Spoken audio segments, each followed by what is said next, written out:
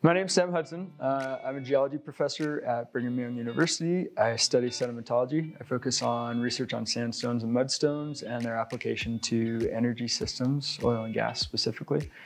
And I teach uh, sedimentology stratigraphy both at the undergraduate and graduate level. And I also teach 101 and a few other classes. I began as a college student not knowing what my major was going to be. Um, I was interested in engineering, architecture, a few other things. Um, took a geology class and that made up my mind. So the reason I'm a sedimentologist is because I enjoy understanding the world around me. Uh, something unique about sedimentology is if I want to understand an ancient stream system, I can go stand in a stream. Uh, if I want to understand an ancient coastal system, I go to the coast. We take field trips with students to Houston every other year where we study modern systems. We stand on the beach and we dig trenches and we talk about how waves form beaches. We stand on a Point bar in a stream and we understand how streams evolve through time.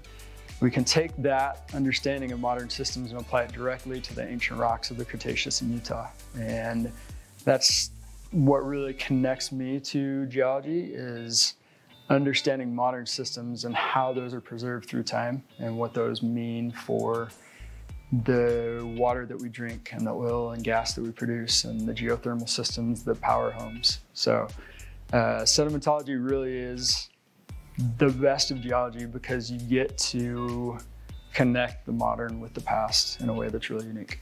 A lot of my research is international. So I've done research the last few years. I've had a sponsored research project in Azerbaijan, which most people don't know where that is. it's over on the Caspian Sea. Uh, we've recently finished, we're wrapping up a project in, on the North Slope of Alaska, and we're kicking off a new research project in Greece right now.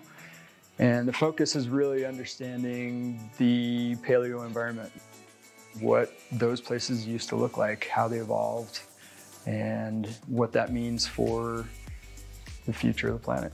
Um, geology is an outdoor science, at least the way I do it. Um, so we get students out in the field. We do a lot of work in Wyoming. We travel to faraway places and we get to do world-class research. Um, we've been in Alaska the last few years flying helicopters around the North Slope and that's not a bad way to do research. uh, having BYU's reputation allows us to get really great external funding and work with top-notch companies who are willing to pay for our research and so we get to go do great things. Um, it's a great student experience.